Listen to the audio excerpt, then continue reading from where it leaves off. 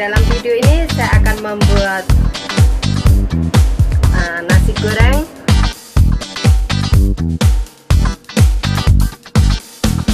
Uh, dalamnya ada keju ada daging asap.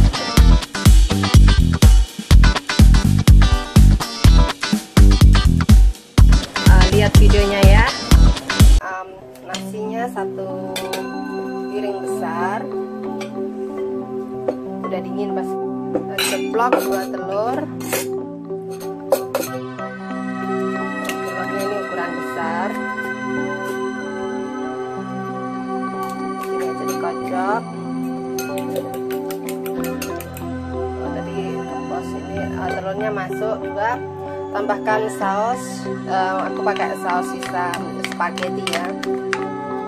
Ini tambahkan merica buat apa rasa mau rasa pedas bisa tambahkan sambal. Juga oke. Okay. aku tambahkan um, kaldu bubuk ayam sedikit aja jadi terasa.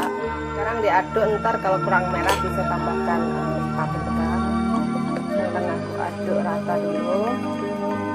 Di adonan nasi ini bisa tambahkan keju parmesan tapi saya lagi kosong nggak ada jadi tidak aku tambahin. Kalau aku mau tambahin keju cheddar takutnya meleleh keluar oke gini aja.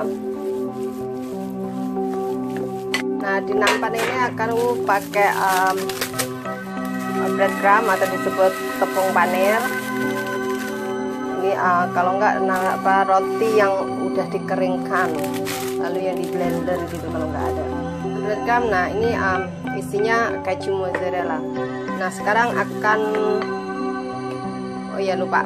Ini ada daging asap buat isinya jika nggak ada juga tetap enak.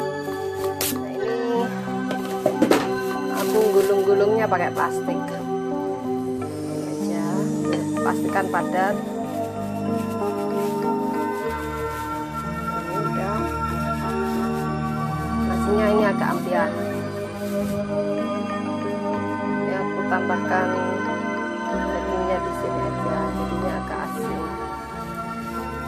kita langsung dibulatkan.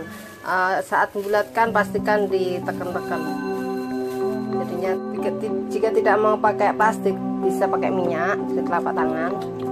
Yang gini jadinya dibulatkan gini lalu besar.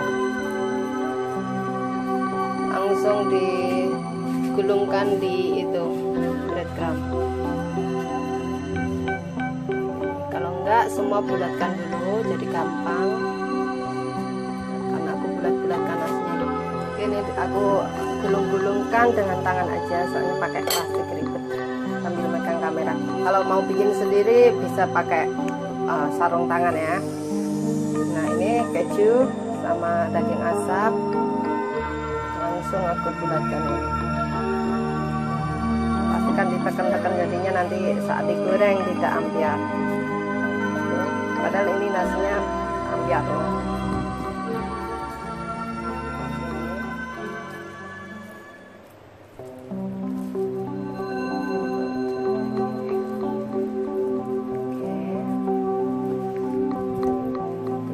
kan sambil ditekan.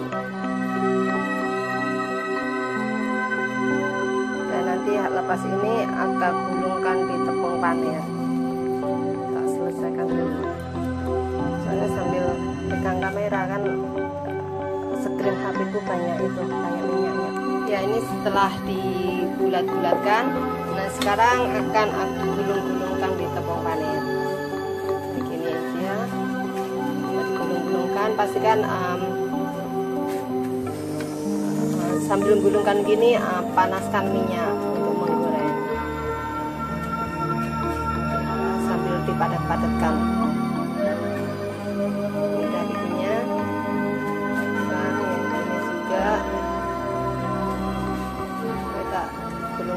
semua soalnya sambil pegang kamera susah. Oke saya selesaikan dulu ini ngerjainnya. Oke. Ntar habis itu digoreng tuh.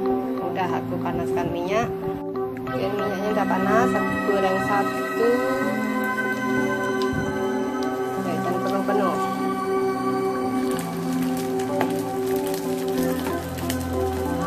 Terlalu besar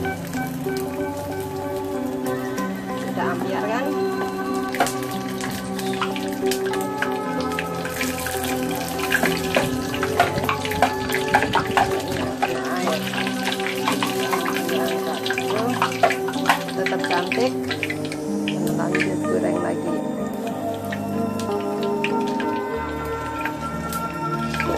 gorengnya tidak terlalu lama jadi jangan ditinggal